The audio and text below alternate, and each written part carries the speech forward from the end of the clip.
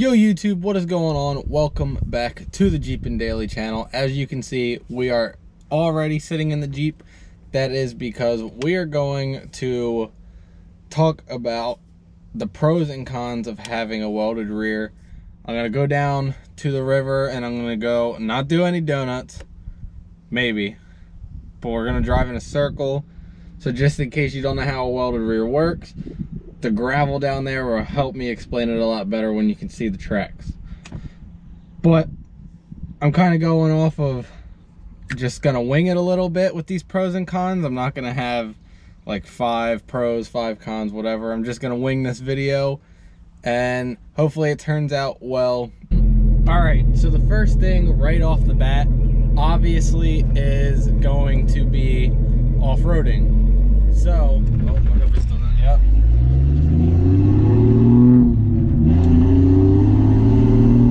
So obviously, having a welded rear means that both tires on that axle are spinning at the same speed 100% of the time. So once one tire, if you're off-roading, when the tire that has the least traction normally would be the tire to spin on an open diff, because it's welded, it's going to spin at the same speed at all times, allowing you to make it up whatever whatever obstacle you're trying to go over a lot easier and it's definitely easier on your vehicle off-road also. So that would lead me into another pro to having a welded rear is it's going to be a lot easier on your vehicle off-road because you're not going to have to push it and go faster over let's say over a hill climb or over some rocks or through mud or whatever the case may be or wherever you're going where your suspension is articulating you'll have your tires spinning at the same speed at all times you're interested to see a little bit how the uh, welded rear helped this jeep out in particular i would recommend going and checking out my crawling for cops off-road video at Rausch Creek because there were a few times that if i didn't have the welded rear it would not have been as easy on the Jeep. I would have definitely had to send it a lot harder than I did. Now this one could definitely be considered a pro and a con depending on how you drive. So to me, I enjoy it, but having a welded rear definitely means your vehicle is going to slide around in the rain a lot more. Um, where I work specifically, so the roads are very slick around where I work. Um, so when it rains, with I don't even have to give the Jeep any more than a quarter throttle when I turn somewhere from a dead stop normally, and the rear end goes sideways. Now there is times where if I'm trying to get sideways, I do really have to push it, and it might come out or it might not come out. So I mean, like to get sideways, it's definitely a lot easier. You don't have to hurt your car or your vehicle as much. But if you're someone who just wants the welded rear for the off-roading purpose and you don't know how it's going to act while you're driving, um, I wouldn't say it's too bad.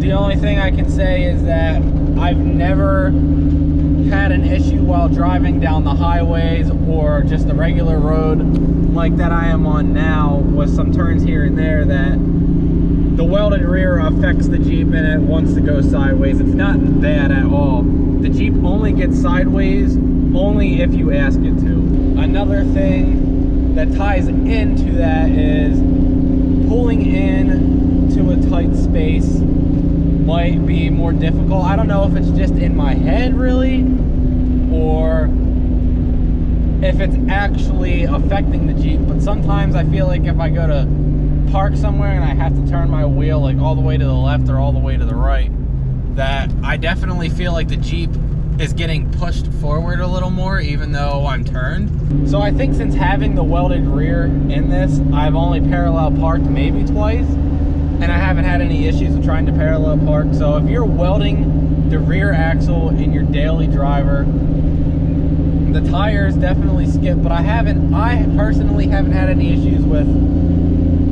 the Jeep doing something I don't want it to do. I can park fine, It drives fine. Now, eh, from what I've heard, if the welds in the rear aren't clean and you're going to daily drive it, from what I have been told, you might it might be affected and might cause some vibrations or some unwanted noises. I don't know. I mean, the weld in my rear, I bought it like this, so nobody I know welded the rear, but it seems strong. I've done lots of burnouts. If you haven't seen my burnout video, that was a second gear burnout. But I've done lots of burnouts on stock tires and on 33s. I've gone off road once. I do lots of clutch kicking and drifting. And I, I mean, my Jeep's my daily driver. I drive it to and from work every day. So I haven't had any problems with the rear. It drives smooth, it drives fine. Now something you might want to consider and be cautious about is like I said, both tires on the axle are going to spin at the same speed 100% of the time. So that means if you're turning at a slower speed, you'll definitely be able to notice the inner tire skipping because the outer tire has a farther distance to travel. So as the outer tire is doing its traveling on the outside of your turn, the inner tire has to keep up or is keeping up with that outer tire, making the inner tire skip. So for example, if you're pulling, when I pull into gas pumps, obviously gas stations have the overhead balcony or whatever the hell you want to call it, um, and it resolves or, and it gives off a little bit of an echo. So when I'm turning, when you're turning into gas pumps and that inner tire starts to skip, it makes like a screeching tire sound obviously. So under the gas pump, it gets a lot of people's attentions and people look at you like you're weird or like your vehicle's retarded. Us car guys or the vehicle owner who knows their rear is welded, obviously it's not going to bother them what other people think because it's welded for a reason, it has a purpose, and it does its job. But on the other hand, I haven't ran into the issue yet, but I feel like there are some cops out there that if you're turning out of a parking lot and you're turning sharp enough to where your tire is making a screeching sound, I feel like there's cops out there that are going to pull you over and tell you you're driving recklessly, whatever. I haven't ran into the issue yet, but I feel like with a welded rear, it's almost inevitable, depending how loud it is or how much attention your vehicle grabs. On to the next con. Now, obviously, when your tires screech or when you do a burnout, it eats your tire, the roadway and the friction eats up your tires faster. So, when, with this welded rear, I've never had, on any of my vehicles, I've never had the same set of tires on them for really longer than a year. So I've never really noticed tread wear too much. But if you put two and two together, it only makes sense that a welded rear is going to eat at your eat your tires away faster than an open rear or an LSD or something with a locker really. So because as I keep saying because your tires are spinning at the same speed 100% of the time the turning and the inner tire is definitely going to be affected. So that's another thing to consider really is if you don't want to spend money on tires more often than you have to. I wouldn't really recommend welding your rear because it's probably definitely going to eat away at your tires. I've noticed that if I, since my tires are brand new, if you did not know, I got these brand new tires. Two, I think it's been two weeks I've had them on now. Um, there's definitely like some rock chips from them because depending on the surface of the road, it's not always smooth or parking lots aren't always smooth. So when you're turning, you might get stuck on something or your tire might grab something and rip up the tire a little bit. So not only will it eat away your tires faster, it'll wear them harder depending on surfaces of the road that you're turning on and stuff. Alright, so I'm rolling up to the spot where I'm going to demonstrate or try to demonstrate how the welded rear works a little bit and show you guys really quick. Now, hopefully nobody comes over and says anything to me because it's public park and there's lots of people here, but this is the only spot I know with a gravel area that I can do this in. All right, so we're in this parking lot. There's some older people over there and my Jeep just does not seem, or people just do not seem to like the sound of the Jeep. And they always assume I'm up to no good, but we're still gonna do something anyways. I'm gonna do a circle and stick the camera out the window and try to show you guys something.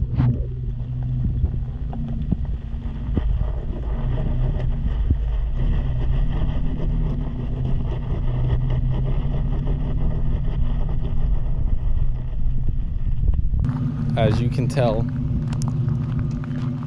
I started about here. Now this was the inner tire and you can just see that it was skipping rocks up. The outside was doing the same kind of, but not as bad. But you can tell up until the point where I stopped, the Jeep was skipping tire. Now if you come look at the tire also, obviously there's gonna be rocks stuck in here. Um, but you can just tell by looking at the tire that it's got some like skip marks. There's definitely some wear on this on the tires from having the welded rear in it. This tire isn't as bad because this was the outer tire. The inner tire was the one skipping really. But we're gonna get out of here now. That's all I really wanted to show you guys. So let's get back on the road. Actually, I decided before we get back on the road, we're gonna straighten this out. We're gonna do a quick cinematic.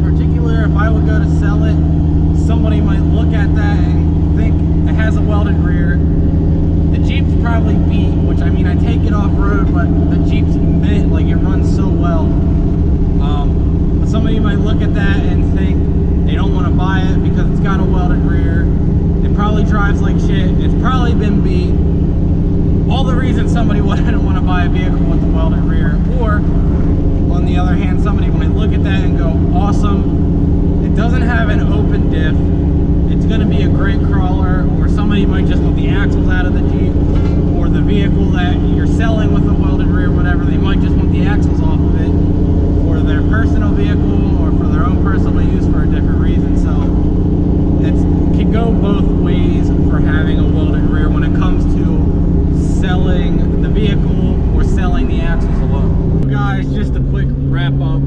Um, basically, if you're gonna weld your rear, it's gonna do a lot better off road. It should perform a lot better in the snow. Oh look, a fellow Jeeper. Woo.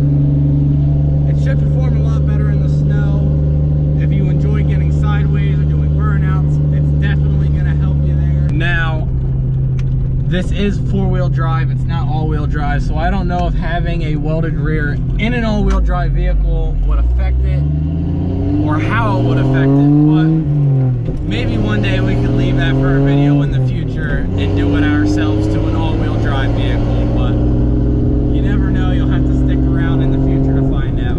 I don't recommend going anywhere else because this is the channel where you want to be, this is the channel where you want to stay, because we have some great content coming, and the more we progress with the channel, the more I progress in life, there's going to be lots of fun stuff with motorcycles, dirt bikes, four-wheelers, Jeeps, SUVs, four-wheel drive vehicles, rear-wheel drive vehicles, whatever, you name it. I love it. Lots and lots of lots of different vehicles, and I'd love to bring them all to the channel, even if it's not Jeep related. But I hope you guys enjoyed the cinematic. Try to insert our second gear burnout Hopefully I still have it saved on the laptop. I'm gonna insert it to the end of this video. But if you guys are new, hit the subscribe button. If this video helped you out, if it didn't help you out, if you got some recommendations, leave it in the comment section below. If you enjoyed, leave a like. I will see you guys next video. I hope you guys enjoy yourselves. I will see you guys next time.